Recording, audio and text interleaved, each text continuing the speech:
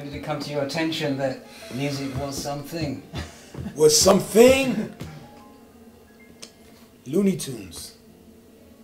Looney Tunes. Looney Tunes. I I mean I listen to popular music on the radio, but if I think back to my initial and formative awareness of music, Mm-hmm. It's Looney Tunes. Cartoons. Man, Yeah. because the Warner Brothers cartoons had complete symphony orchestras. So I heard a bassoon, a xylophone, a French horn, um, all of these different instruments, a clarinet. I heard all of these instruments before I knew what they looked like. Tom and Jerry running down the stairs, you know, so you hear, I heard all of this, you know, and it wasn't until later years that I realized that was because I, I love all kinds of music. I appreciate all kinds of music, uh, uh, the, you know, the tones, the textures, the colors. And I was never really exposed to classical music as a child. That was not in my, in my environment per se. But uh, man, the, Yeah. the scores for those for those cartoons was incredible.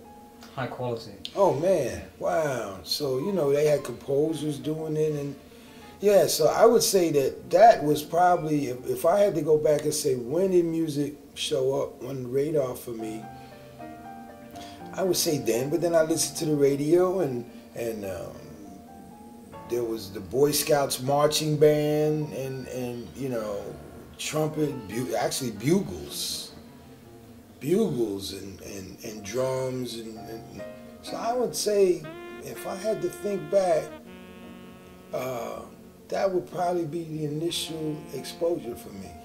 It's interesting. Not Yeah. many people would really look back at the cartoons and such. But you're absolutely right. They were very influential. But I still watch them. yeah, so do I. I, I watch them all the time. I have col- I have a- I have collections of, of, of most of the Warner Brothers cartoons, and I listen to them, and I watch them. Um, you know, I like the Tex Avery. oh boy, I have about four hours on tape. yeah, no, I have more than that. Yeah, I have sure. the, I have the box set. Yeah, the box set. Yeah, yeah, but um, yeah, I, it, it was a, it was a, it was an art form. You know, I I like to draw as a child, so I, I never really became as as children. We used to draw cartoons in school. I actually made a couple of little comic books with figures that. And we took pages and we drew stories out and we stapled them together and, and and uh, you know I never went anywhere with it. But when I look at the animation in the cartoons, it, blows me away. What compared to the computerized stuff that they have out now, what those guys were doing was incredible. And and then and then Warner Brothers, I always appreciated uh, Warner Brothers art and the storylines, and and I've always been a little bit rebellious. And when I found out. Um, uh, about how Warner Brothers evolved in in the in the time of Disney, then it all made perfect sense to me. Yeah. what was it in particular that, about the development of Warner? That, Well, what happened with Warner was that um, Disney was was such a presence that to try to do more of the same would have really been insignificant.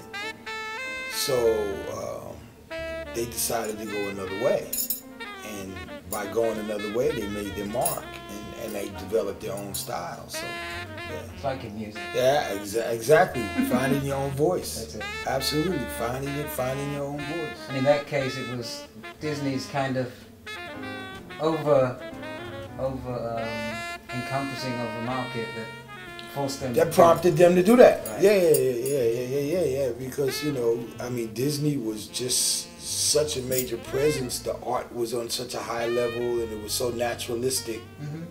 that um, you couldn't beat them.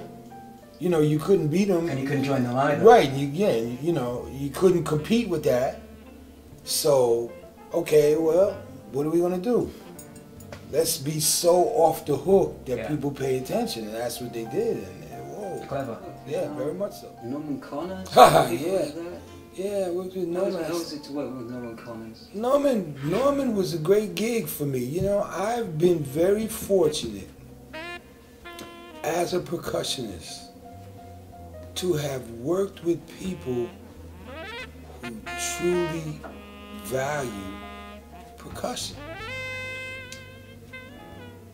And as a result of that, the situations have always been situations that have allowed me to explore, to develop, to grow. Norman Connor's band was a great gig for a percussionist. It was a great gig for a percussionist. I did a lot of playing. Um, I got, I had a lot of freedom. Um, the limitations were not what they would have been on other on other gigs. So, you know, I, I got a chance to play and, and, and explore, Experiment. experiment, develop, get strong.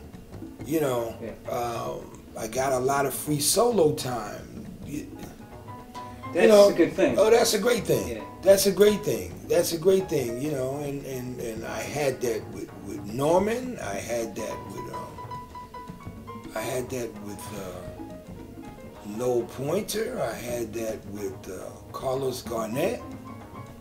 I, I had that with um, with Harry Belafonte. Uh, you know, and and I have it with Randy.